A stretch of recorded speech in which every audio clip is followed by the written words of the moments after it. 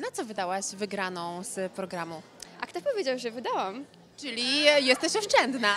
Tak, jestem oszczędna. Ale zbierasz na przykład na coś konkretnego? e, Czy po prostu uważasz, że czujesz się bezpieczniej, e, kiedy te pieniądze leżą sobie na koncie? Jestem osobą, która mm, na pewno gdzieś w życiu sobie postawiła taki cel, że chciałaby mieć na pewno oszczędności.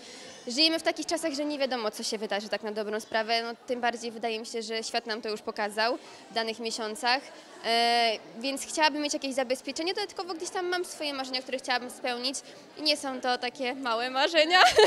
Także e, każdy grosik skrupulatnie odkładam, oszczędzam. Oczywiście nie przesadzajmy, e, też pozwalam sobie na życie, ale gdzieś tam jednak uważam się chyba za osobę, która jednak oszczędza i odkłada pieniądze. Czy na przykład ty, i twój partner myślicie o tym, żeby zakupić wspólne mieszkanie? Jak najbardziej. Myślimy. Właśnie się zastanawiam e, i tutaj jakby dążę do tego, czy te oszczędności być może to jest taki wkład e, w takie pierwsze M4. Tak, na pewno mieszkanie, y, podróże, też mamy gdzieś swoje marzenia, które chcemy spełniać. No, natomiast teraz jest tyle pracy i dla mnie i u Piotrka, że nawet nie mieliśmy za bardzo czasu te takie nasze marzenia, największe takie podróżnicze na razie odbyć. No ale gdzieś na to cały czas też tam mamy gdzieś z tyłu głowy budżet, który chcemy na to przeznaczyć. No i to wiadomo, jakieś tam marzenia inne, różne, nie chcę za dużo też zdradzać, bo wiadomo, nie można mówić, bo się nie spełni.